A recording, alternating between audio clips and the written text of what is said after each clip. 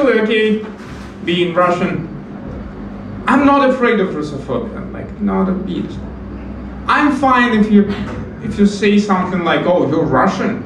All the Russians are bad." but I'm really afraid when people say, "Oh, you're Russian. Putin is good."